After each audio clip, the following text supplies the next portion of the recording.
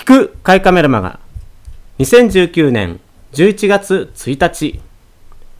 お楽しみ様です。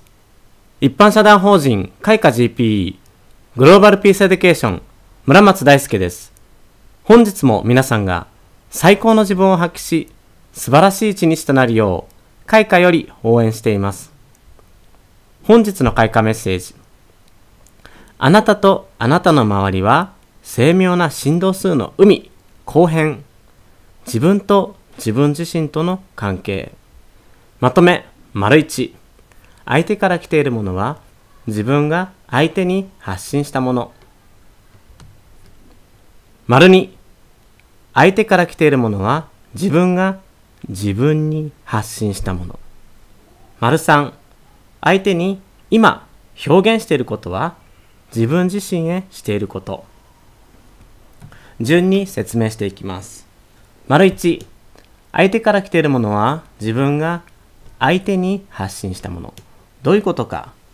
周りの人から批判攻撃を受けたとします。もうあんたのせいでこうなっちゃったじゃないのよ。それはあなたがかつて浮き輪で海の中心であんたのせいでとドドーンと波を打ったから。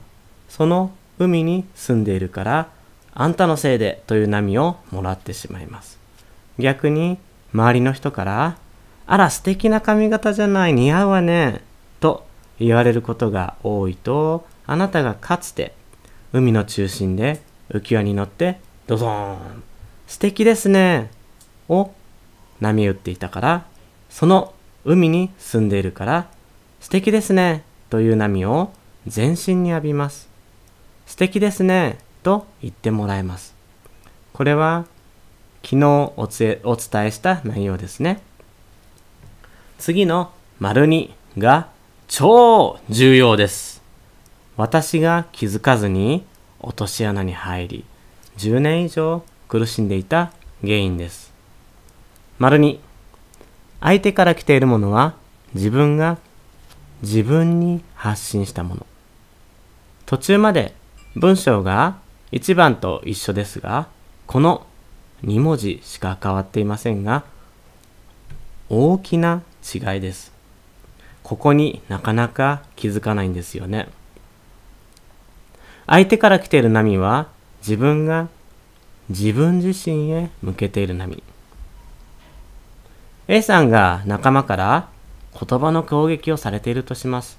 でも A さんは一生懸命身を粉にしていろいろ犠牲をして自分はどうなってもいいから自分の言いたいことも言わずに一生懸命言われてることをやり仲間に尽くしているのになんでそんなこと言われなきゃならないの？と。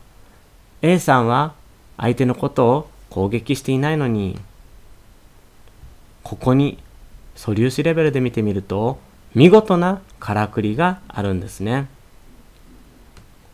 A さんがまさにその真っ只中だと全く気がつかない落とし穴です。私自身もここを何年どころか10年以上やっていたと思います。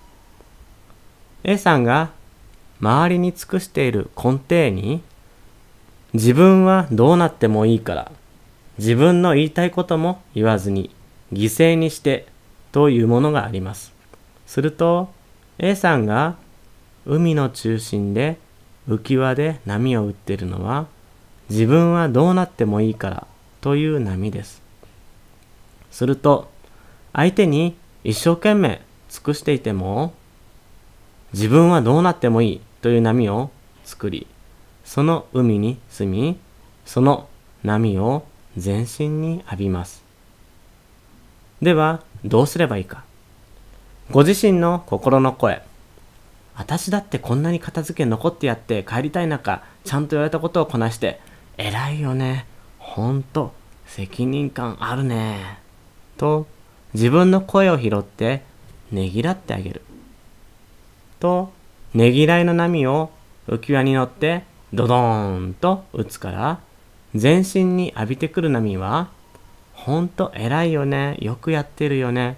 というねぎらいのエネルギー、言葉が返ってくるんです。さらに深く見ていきます。本当は片付けやりたくないのにというのを浮き輪に揺れながらその声を拾う。ということは、あ、片付けしなくていいんだ。となってしまうと、今度は無責任という波を発信してしまいます。やらなくていいのではなくて、やりたくない中、やったことは偉いなぁと自分自身へ波打ってみてくださいね。大人の方の場合、お仕事や家事など状況は同じです。目の前に辛いなぁ嫌なエネルギーだなぁという現象を人からぶつけられていると感じているとしたら、それはその人からぶつけられているのではなく、私が私に嫌なエネルギーをぶつけていないかなと自分自身を見つめてみてください。すると私が私自身にどんなエネルギーを出していたかに気づきます。私と相手との関係ではなく私と私自身との関係なんです。あなたがあなた自身に対してどのような波を放っているか。その波が周りの海へドドーンと波打っています。最後に海浮き輪理論の3つ目。丸3相手に今表現していることは自分自身へしていること。丸1と丸3の違いは丸1は人から何かもらっていたら、それはかつてあなたがやったこと。丸三は、人へ今言っていること、思っていることがそのままあなたへ今していることですよ、というだけです。海浮き輪理論まとめ、丸一。相手から来ているものは自分が相手に発信したもの。丸二。相手から来ているものは自分が自分に発信したもの。丸3相手に今表現していることは自分自身へしていることいつも最後までお聴きくださりありがとうございますでは皆さんにとって最高素晴らしい一日となりますように。